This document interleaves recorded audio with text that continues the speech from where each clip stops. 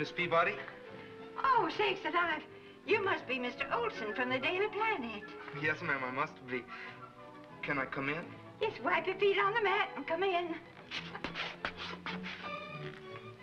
This is my little family.